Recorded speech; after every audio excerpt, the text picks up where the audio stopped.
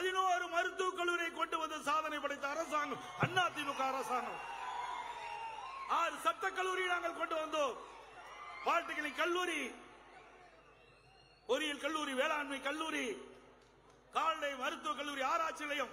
இப்படி எண்ணற்ற கல்லூரிகளை கொண்டு வந்து தமிழகம் கல்வியிலே சிறந்த மாநிலம் என்ற பெயரை எடுத்தோம் ஸ்டாலின் அவர்களே. நாங்களா தமிழ்நாட்டை கெடுத்தோம் ஒரு மருத்துவக் கல்லூரி கொண்டு வந்து முடிஞ்சுதான் மூன்றாண்டு காலத்துல ஒரு மருத்துவக் கல்லூரி உங்களால கொண்டு வரது முடிஞ்சுதா? எப்ப பார்த்தாலும் திரு ஸ்டாலினுடைய மகன் உதயநிதி ஸ்டாலின் ஒரு செங்கலை எடுத்துக்கிட்டு இருக்காரு. அதுதான் மூணு வருஷமா காட்டிட்டு இருக்கிற. மூணு வருஷமா செங்கலை காட்டிட்டு இருக்கிற. எய்ம்ஸ் மருத்துவமனை கொண்டு வர வேண்டும் என்று எங்களுடைய இதய புரட்சி தலைவி அம்மா மத்தியிலே கோரிக்கை வைத்தார்கள் அந்த கோரிக்கையை ஏற்று மத்திய அரசாங்கம் எய்ம்ஸ் மருத்துவமனை மதுரையிலே கொண்டு வந்தது.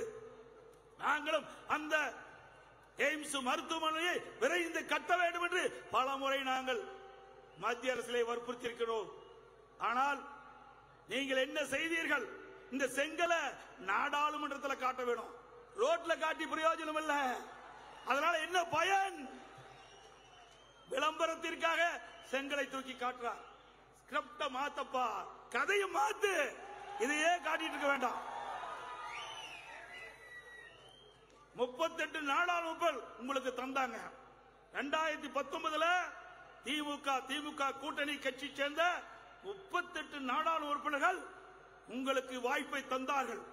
இந்த செங்கலை கொண்டு போய் அங்க காட்ட வேண்டியதானே முப்பத்தெட்டு பேரும் நாடாளுமன்றத்தில் காட்டி நிதி பெற்று அந்த எய்ம்ஸ் மருத்துவமனை கட்டியிருக்கலாம். இல்ல தில்லு திராணி தெம்பு இல்ல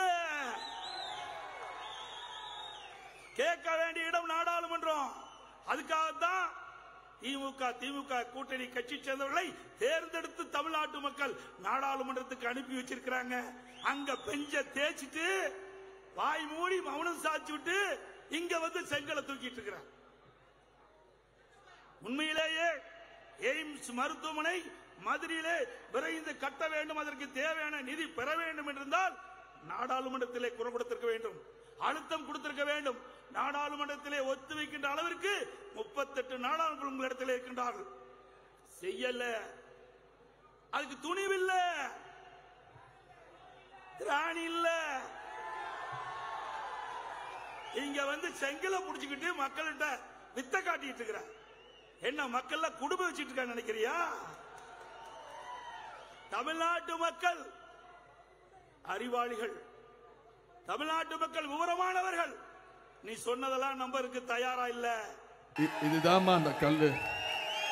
இதுதான் திரு மோடி அவர்களும் திரு எடப்பாடி பழனிசாமி அவர்களும் திரு அமித்ஷா அவர்களும் ரெண்டாயிரத்தி பத்தொன்பதாம் ஆண்டு அடிக்கல் வச்சு நாட்டிட்டு போன கல்லு. நான் இந்த கல்லை திருப்பி கொடுக்க மாட்டேன். கண்டிப்பாக கொடுக்க மாட்டேன். நானாவது இப்போ என்ன தெரியுமா சொல்றாரு எடப்பாடி பழனிசாமி நேற்று உதயநிதி மாத்தி பேசணும். திருப்பி கல்லை எடுத்துட்டாரு. ஸ்கிரிப்டை மாத்துங்க அப்படின்னாரு. அந்த போட்டோ காட்டுங்க. நானாவது நானாவது கல்லை காட்டினேன். புரியுதுங்களா? நானாவது எய்ம்ஸ் வச்ச கல்லை காட்டினேன். இங்க ஒருத்தர் பல்ல காட்டிட்டு உட்காந்துருக்காரு பாருங்க. தெரியுதாம்மா? எதை காட்டுறாரு? ம். நானாவது கல்லை காட்டினேன். இவர் எதை இவர் எதை காட்டுறாரு? எப்படி காட்டுறாரு பாருங்க.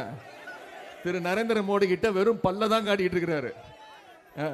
அவர் என்ன சொல்றாரு? உதயன் இது இது எப்ப எடுத்த போட்டோ தெரியுமாமா ஜனவரி இருபத்தி ஏழாம் தேதி ரெண்டாயிரத்தி பத்தொன்பதாம் தேதி அதே மதுரை எய்ம்ஸ் அடிக்கல் நாட்டு விழால எடுத்த பல்ல காட்டின போட்டோ கல்ல வச்சுக்கிட்டு பல்ல காட்டின போட்டோ இப்போ என்ன சொல்கிறாரு உதயநிதி ஸ்கிரிப்ட் மாற்றி பேசணும். ஒரே ஸ்கிரிப்டாக பேசுகிறாரு அப்படின்னு. நான் ஏங்க ஸ்கிரிப்டை மாற்றி பேசணும்? நான் ஏன் என் கொள்கையை மாற்றி பேசணும்? எங்களுக்கு இருக்கிற ஒரே கொள்கை இது ஒன்று தான் எங்களுக்கு எய்ம்ஸ் மருத்துவமனை வேணும். எங்களுக்கு நீட் தேர்வு வேணாம். எங்களுக்கு மாநில சுயாட்சி வேணும். உ- திரு எடப்பாடி பழனிசாமி அவர்களே என் வாயை நோண்டாதீங்க. உங்களை மாதிரி நேரத்துக்கு தகுந்த மாதிரி ஆளுக்கு தகுந்த மாதிரி ஸ்கிரிப்ட் மாற்றி பேசுகிற ஆள் நான் கிடையாது. நீங்கள் ஓபிஎஸ்ஸை பார்த்தா ஒரு மாதிரி பேசுவீங்க. சசிகலாவை பார்த்தா ஒரு மாதிரி பேசுவீங்க. மோடியை பார்த்தா ஒரு மாதிரி பேசுவீங்க. ஜே தீபாவை பார்த்தா ஒரு மாதிரி பேசுவீங்க. ஜே தீபாவோட டிரைவரை பார்த்தா ஒரு மாதிரி பேசுவீங்க. உங்களை மாதிரி மாற்றி மாற்றி பேசுறதுக்கு திமுக காரன் ஒன்றும் பச்சவந்தி கிடையாது. நான் நான் கலைஞருடைய பேரை எனக்கு நான் என்னுடைய கொள்கையை தான் பேசுவேன். என்னுடைய மாநில சுய எங்களுடைய மாநில உரிமைகளை மீட்கிறதுக்கு என்னென்ன தேவையோ அத்தனை போராட்டங்களையும் நான் பண்ணுவேன். எல்லா மாநில உரிமையும் மீட்டு மீட்டெடுக்கணுமா? இந்த ஒம்பது வருஷத்தில் மொழி உரிமை முக்கியமாக மொழி உரிமைமா அதாவது கடந்த அஞ்சு வருஷத்தில் ஒன்றிய அரசு ஒன்றிய பாஜக அரசு திரு நரேந்திர மோடி இருக்காருல்ல அவருக்கு நான் இப்போ செல்லமாக ஒரு பேர் வச்சுருக்கேன்.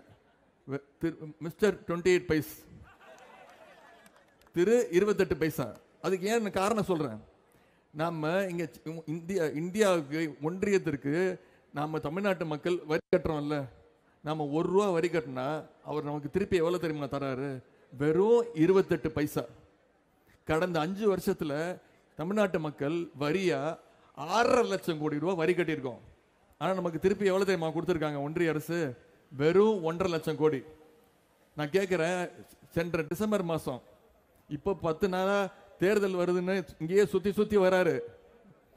இ- அவர் இங்கே தங்கியே இருந்தாலும் ஒரு தொகுதி கூட முடியாது நான் சவால் வர்றேன் இன்னும் சொல்ல விட்டுமா- சொல்லட்டுமா? அவர் ராமநாதபுரம் தொகுதியில் தான் நிற்க போகிறதா சொன்னார்.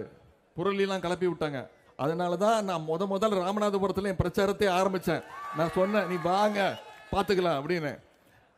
மிக்ஜாம் புயல் வந்ததுமா டிசம்பர் மா மிக்ஜாம் புயல் வந்தது.